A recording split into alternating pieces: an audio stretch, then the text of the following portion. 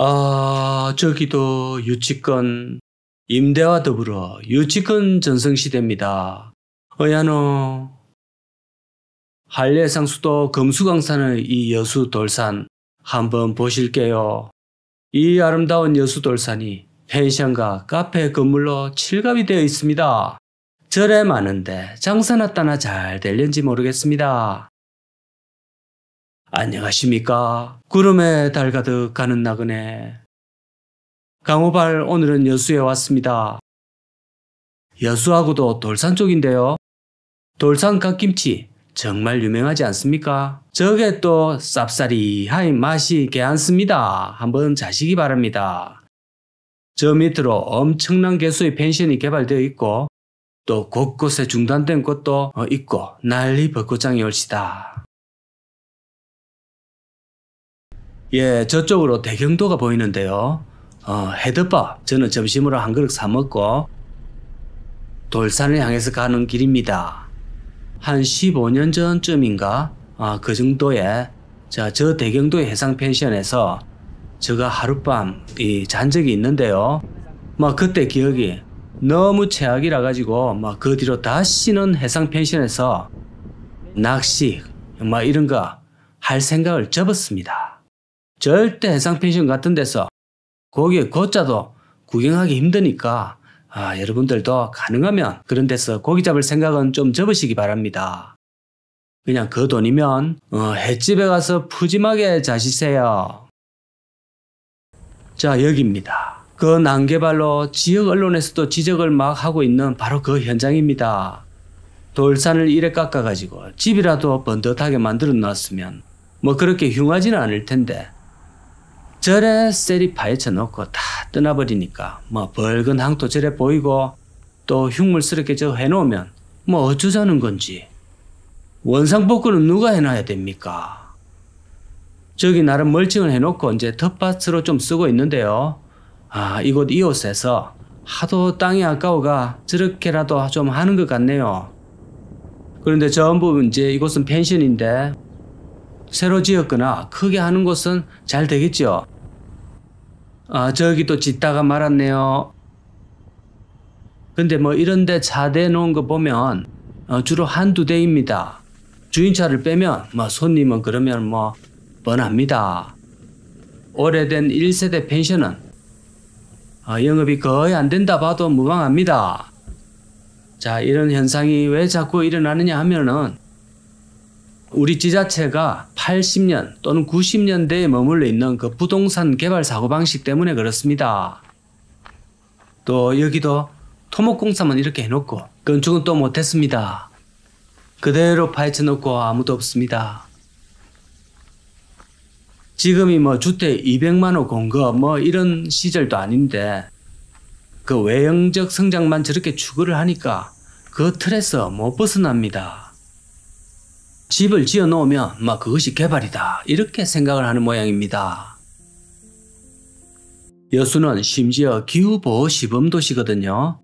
환경을 최우선적으로 생각을 해야 되는 도시인데 엑스포 이런 거 하면서 갑자기 주목을 받고 이러는 바람에 정신없이 난개발을 해온 결과입니다. 엑스포 하면은 온 세계인이 몰리면서 영원히 난리가 터질 줄 알았던 모양입니다. 여기가 돌산의 입구 가장 메인이라고 보시면 될 것 같고요. 소미산을 중심으로 풀빌라, 카페 아, 엄청 많이 지어놨습니다. 돌산에서 운영 중인 펜션이나 기타 숙박업까지 모두 합치면 펜션만 무려 61군데라고 합니다. 이게 거의 한 5, 6년 전의 기사니까 지금은 훨씬 많을 겁니다. 펜션이 무분별하게 들었었고요.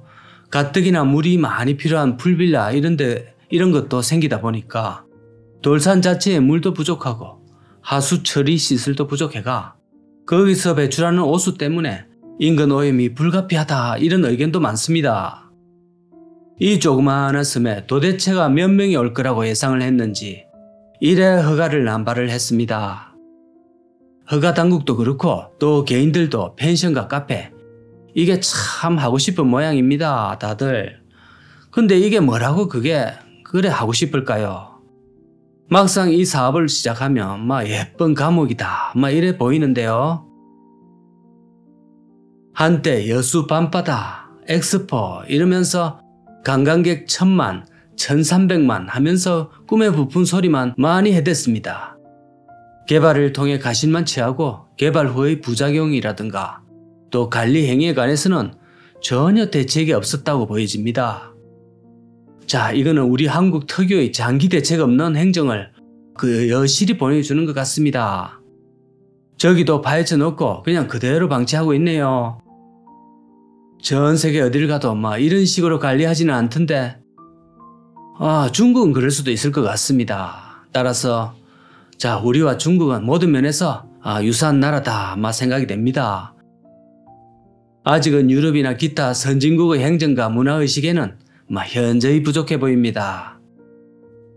자, 곳곳에 상처가 많이 나 있고 또 성공적으로 지었다고 해도 영업이 잘 되어 보이지는 않거든요. 요즘 젊은이들이 여수 간다는 소리는 뭐 잘 못 들어봤습니다. 그나마 중장년층들이 향이람 같은데 이제 과거의 낭만 같은 거를 찾아서 예, 사찰 여행 어, 그런 거를 이제 오는 것 같은데요.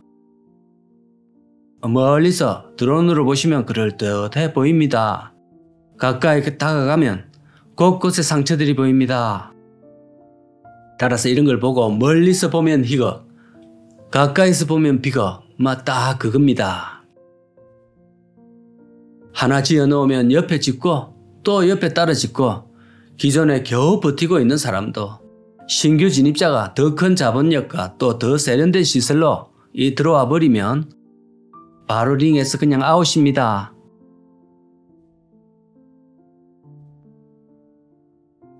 그래도 여수 관광객이 아예 많아버리면 그래도 뭐 좀 살아남을 텐데 지금 상황으로 봐서는 뭐 영 미래가 좀 어두워 보입니다. 기왕에 이렇게 산을 깎아서 개발해 놨으면 사람들이라도 많이 와서 장사라도 잘 됐으면 참 좋겠는데요. 제 영상 보시고 돌산에 이 많이들 한번 놀러 가 보시기 바랍니다. 자, 오늘 목 상태가 별론데 그래도 시청은 감사합니다.